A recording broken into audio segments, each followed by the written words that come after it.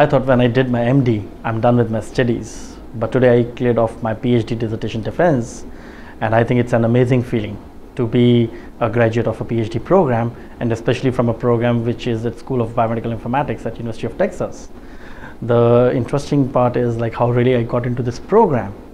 I was actually introduced introduced by Dr. Shi, and in one of the conferences where I met with them, and he told me about this PhD program, and I said like, really, I can join this program. I'm actually in Maryland, and what can I do to come to this place?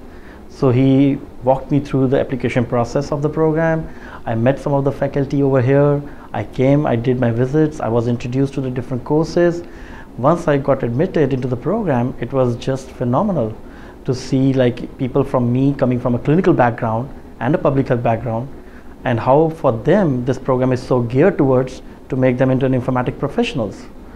Now apart from that, the most exciting opportunity which came to me during this program, of course I was taking my classes as regular, but most important thing came to me was a fellowship which was given to me twice to go and visit Brazil as a part of my academic training program.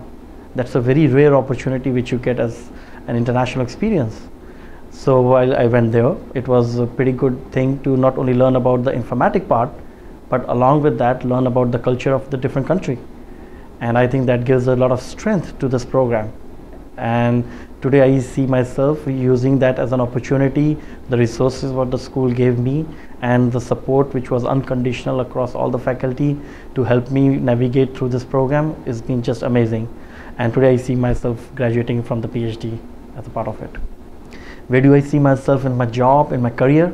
I think I would like to take a very global role, especially after going to Brazil and my work which I've been doing internationally. I think my really interest is to establish some sort of a global health informatics or you can say specifically focusing on population health informatic programs.